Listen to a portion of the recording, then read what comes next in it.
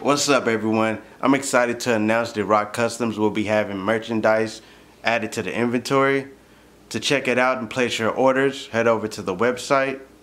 Also, I'd like to give a shout out to the number one paint supplier for customizers, Angelus Paints.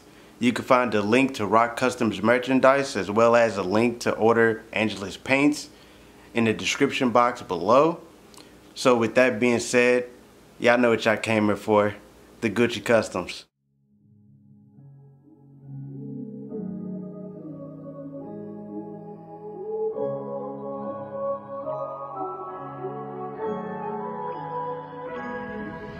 Son?